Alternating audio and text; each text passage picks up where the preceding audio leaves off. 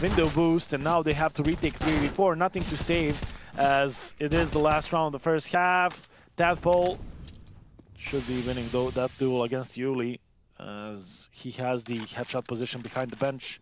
Yuli in the middle of the open, but doesn't. And it's going to be a 3v3, a couple low players, low HP players on both sides. AKS interested into moving through the smoke. Spargo gets the kill on Cypher. That was the player boosted on the site itself. smooya, with all that is happening, forgot to take care of his flank, and it's all down to dobbo. He has the info that the last one is coming from the flank, and the single bullet will do it. And even if uh,